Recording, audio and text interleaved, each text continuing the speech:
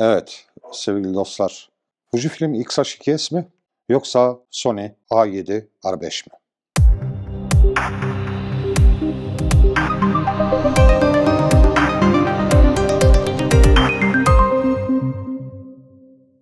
Ben Erdin Çamaç. Fotoğraf çekmek kolay hoş geldiniz.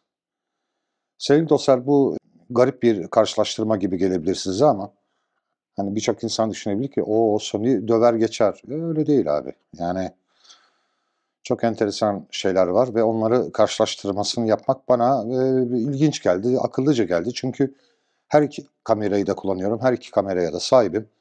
Dolayısıyla da her iki kamerayı da epeydir kullandığım için her ikisine de alışkınım. Artı ve eksilerini çok iyi biliyorum. Şimdi onlardan bahsedeceğiz. Dolayısıyla önüme ben bir liste hazırladım bu şekilde. O listenin bir bölümüne de e, sürekli kaydedeceğim. Çünkü hiç hazırlanmadığım bir video bu. Sizinle beraber yapacağız bu karşılaştırmayı. Anında aklıma geleni ve bildiklerimi buraya dökeceğim. Dolayısıyla bir tarafa Fuji yazacağım. Diğer tarafa da Sony yazacağım. Şimdi önce fotoğraf becerisinden başlayalım. Videoya sonra geleceğiz. Fotoğraf becerisinde tabii çözünürlük ve sensörden başlarsak eğer çok açık ara Sony bir puan öne geçer sevgili dostlar. Çünkü 61 megapiksellik bir e, çözünürlüğe sahip. Buna karşın e, tabii ki Fuji'nin e, 26 megapiksellik bir sensör var. Bu çözünürlüğün dışında hiçbir avantaj ya da bilmem ne dezavantaj sağlamayan bir konumdan bahsediyoruz. Keskinlikten bahsetmiyorum burada. Çünkü sevgili dostlar çok basit bir biçimde keskinlik sadece ve sadece lensinizin, camınızın kalitesiyle bağlantılıdır. Dolayısıyla çözünürlükte Sony bir puan öne geçiyor. Ama şimdi bu işin bir de hız kısmı var. Dolayısıyla bir taraftan Fuji, e, Sony saniyede mekanik shutter'da sadece 10 kare çekebilirken mekanik shutter'da bu sevgili dostumuz 20 kare saniye çekebiliyor. Elektronik shutter'a e, geçtiğiniz zaman bu arkadaşımız 7'ye düşüyor. Fuji evet crop'la beraber ama crop dahi olsa 40 saniye kare çekiyor. Dolayısıyla burada da Fuji bir puan öne geçiyor. Her ikisinin de çok ilginç bir biçimde zannediyorum bunlar bazı konularda ortak çalışıyorlar bu iki marka. Çünkü otofokus ve AI'dan bahsedeceğim. Her ikisi de aşağı yukarı aynı e, şeyleri kullanıyor. Ve yaptığım testlerde özellikle fotoğraf konusunda gerek sürekli otofokus gerek single nokta otofokuste gerek de e, tracking otofokuste fotoğrafta birbirlerinden hiçbir fark göremedim. Her ikisi de son derece başarılı bir biçimde otofoküse sahipler. E, %80, %90'a yakın başarı sağlamış vaziyetteler. Ama yine de bir gıdımcık öne geçtiğini düşündüğüm Sony'de burada bir bir puan vereceğim. Sevgili dostlar, dinamik aralıkta, fotoğrafta her ne kadar ikisi için de kağıt üzerinde 14-15 e, stopluk dinamik aralık veriliyor veriyorlarsa da ben benim yaptığım denemelerde fotoğrafta bunun dinamik aralığı bundan aşağı yukarı bir stop daha fazla olduğunu gördüm. Dolayısıyla Sony burada bir puan daha kazanıyor. ISO performansı. ISO performansı birbirine aslında çok uzak değiller. Yani zannetmeyin ki bu sadece bir e, crop sensör olması vesilesiyle ve full, bu full frame olması vesilesiyle bu çok daha iyi ama yok. Bir orada da bir stop bir fark var. Yani ben buna ne kadar 6400 ISO'da rahat, rahatım ve sıkıntısız fotoğraf çekiyorsam bunun 12800 ISO'da da aynı rahatlıkta fotoğraf çektiğimi söyleyebilirim. Dolayısıyla şu anda Sony 4.1 öne geçti. Ama renk biliminde de kusura bakmayın be vallahi ben renk biliminde hala Fuji'nin çok açık ara önde olduğunu her ne kadar bu yeni seride de renk biliminde ciddi düzeltmeler yaptıysa da dedim yani ortak çalışıyor gibiler bazı konularda. Burada yine de Fuji ben renk biliminde açık ara önde olduğunu düşünüyorum. Bunun her ikisinde de pixel shift var. Dolayısıyla orada bir puan kaybı ya da kazancı yok. Ama bracketing konusunda ki biliyorsunuz bu focus bracketing daha yeni geldi bu A7 e, R5 ile beraber e, Sony'lere. Ama bundaki bracketing seçenekleri çok daha yüksek olduğu için bracketing'te de Fuji öne geçiyor X-H2S. Menü kolaylığında valla bu elbette tartışılır ve bir alışma eğrisi gerektiriyor. Her iki menü de hani çok mükemmel menüler değil. Ama en azından Sony artık yeni menüsüyle beraber bir parça Fuji'ye yaklaştı. Ben hala Fuji'nin menüsünün daha benim açımdan anlaşılabilir olduğunu düşünüyorum. Burada menüden de de Fuji'ye 1 vereceğim. Ve şu ana kadar beraberlik var. Beyaz dengesi. Yani otomatik beyaz dengesi. E, fotoğrafta biliyorsunuz çok önemli değil gibi gözükse de yine de ilk çektiğiniz karede ne kadar gerçeğe yakınsa ondan sonraki düzeltmeler o kadar kolaylaşıyor. Yani e, bu sağdan posta düzeltemediğiniz bir şey elbette değil ama kafadan her ikisinde beyaz öncelikli otomatik moda getirdiğim zaman Fuji'nin bu konuda çok daha başarılı bir performans sergilediğini gördüm. Dolayısıyla burada Fuji'ye bir puan ve fotoğrafta Fuji 5-4 öne geçmiş vaziyette. Şimdi gelelim videoya. Sevgili dostlar videoda sensörler tabii ki bunda 26 megapiksellik stock sensör var. Yani çift katmanlı sensör var. Bu da videoda bayağı fark yaratıyor demektir. Bir kere neyse sırayla gidelim. Video formatlarında e, fark yavaş yavaş ortaya çıkmaya başlıyor. Çünkü her her ikisinde de 4K işte 24, 30, 50, 60 var. Sony'de 8K var ama Fuji'de 6,2K Open Gate var. Artı 4K 120 fps var. Bu da Fuji'ye bir öne geçiriyor. Kodekler de H264, H265 var Sony'de. Bunda da var. Ama bunda bir de her ikisine de 4.2 ki 10 bit dahili kayıt var. Onda bir sıkıntı yok. Ama Fuji'yi öne geçiren Apple ProRes LT, Apple ProRes 4.2.2 ve Apple, Apple ProRes HQ kayıt yapabilmesi. Bu da e, Fuji'ye bir puan daha sağlıyor sevgili dostlar. Bitrate'e gelelim.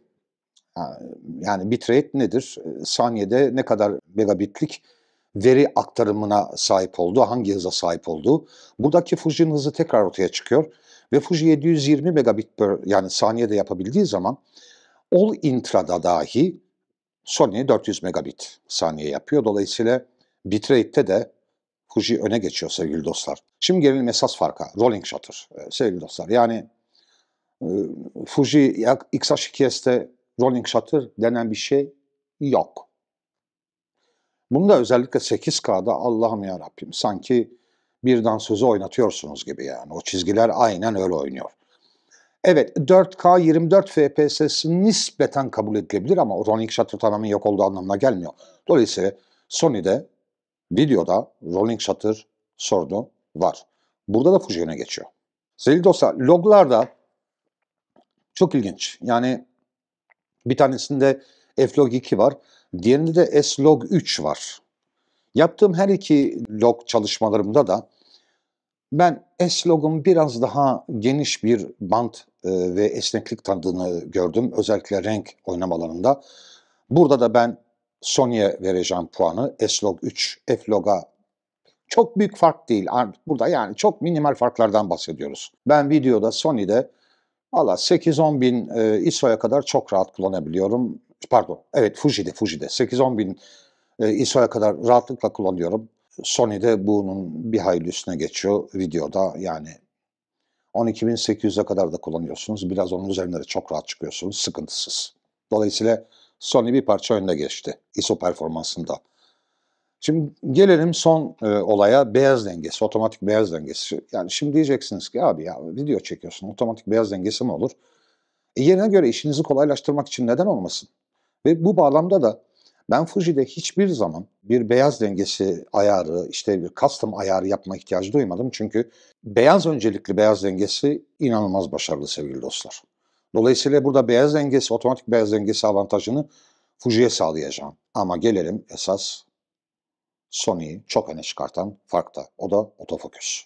Şimdi sevgili dostlar, Sony'nin otofokusu bugün endüstri lideri yani yapışkanlığı konusunda, seçenekleri konusunda hani müthiş bir şey var ama Fuji umarım ileride bir yazılım güncellemesiyle bunu e, düzeltir. E, ve Sony'nin o size normalde fotoğrafta da sağladığı, Fuji'nin de fotoğrafta sağladığı ama o hani tracking otofokusunu sağlar. Çok kolay.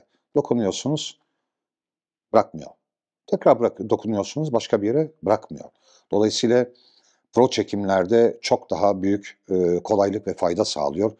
Ve inanın ki başka özellikleri de var. Özellikle insan mesela fotoğrafta da, videoda da diyelim ki bir düğün çekiyorsunuz ve gelin ön plana çıkartmak istiyorsunuz ve gelini fotoğraflarını ıskalamak istemiyorsunuz. gelinin yüzünün bir ön kaydını yapıyorsunuz kameraya ve kamera sürekli eğer ki insan öncelikli e, daha doğrusu yüz öncelikli konuma getirirseniz ve oradaki e, seçeneği de seçerseniz gelinin net olmayan resmi, foküste olmayan yani odakta olmayan bir tane fotoğrafı çıkmıyor. Dolayısıyla da burada puanı Sony'ye veriyorum sevgili dostlar. Şimdi benim aklıma gelenler bunlar. Kullanım kolaylığı derseniz eğer ben yine de Fuji'yi kullanım kolaylığında her ne kadar bunları tabii düğmeleri istediğiniz gibi ayarlama yapabiliyorsanız kendi kullanımınıza göre. Burada şeyi çok yani fonksiyon düğmelerinin Fuji'de daha kullanışlı iken Sony'nin de ekranındaki fonksiyon e, avantajının çok büyük e, avantajlar getirdiğini bundan dolayı da burada bir beraberlik e, bırakacağım. Neticede alışmaya bakıyor her şey. Isınma konusunda Allah denemedim ne yalan söyleyeyim. Çok çok uzun kayıtlar zaten yapmıyorum. Şu ana kadar Sony'de hiçbir sorun yaşamadım ama biliyorum ki Fuji'de zaten yaşamam. Sevgili dostlar, şimdi bu şartlar altında Fuji 10'a 8 önde bitiriyor. Bu demek değil ki Fuji X-H2'ye alacaksınız.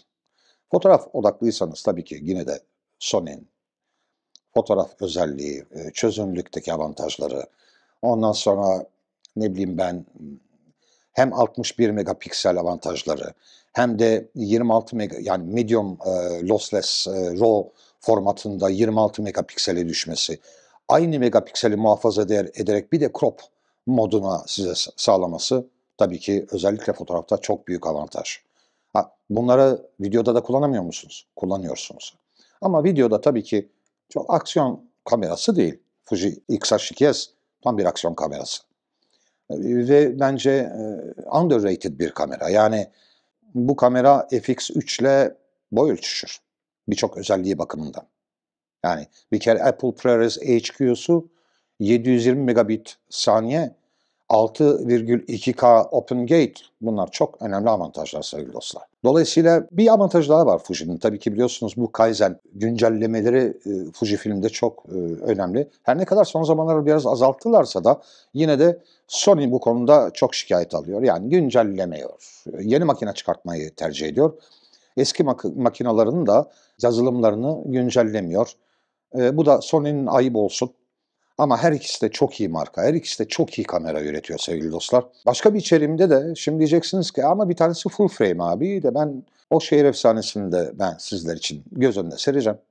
O zaman hep beraber bayağı bir eğleneceğiz sevgili dostlar. Yani crop sensör ve full frame arasında yok bokeh farkı varmış da yok bilmem ne fark. Bir tek fark var. Çözünürlük farkı var. Ve biraz da tabii ki düşük ışıktaki avantaj farkı var. O da çözünürlüğü çok yüksek olmamak kaydıyla. Neden zannediyorsunuz ki en profesyonel makinelerinde dahi, FX3'te dahi hala 12 megapiksellik bir full frame kullanıyorlar. Demek ki çözünürlük her şey demek değilmiş. Ama tabii ki kullanmak istediğiniz şekle göre de doğru kamerayı almanızda fayda var. Umarım bu içerik ve bu karşılaştırma sizlere faydalı olmuş ve beğenme butonunu hak etmiştir. Hala abone değilseniz lütfen abone olun. Bu aileyi hep beraber çok güzel büyütmeye devam edelim sevgili dostlar. Ee, bugünkü çekimimi DJI Osmo Pocket 3'te yaptım. Gayet güzel olduğunu gördünüz. Sizi de aynı şekilde oradan kayıt yapıyorum. Benim söyleyeceklerim bu kadar. Şimdilik sevgiyle kalın, sağlık ile kalın, huzur ile kalın. Hoşça kalın. Ben Erdinç Çamaç. Fotoğraf çekmek kolay. Bugünlük de bu kadar.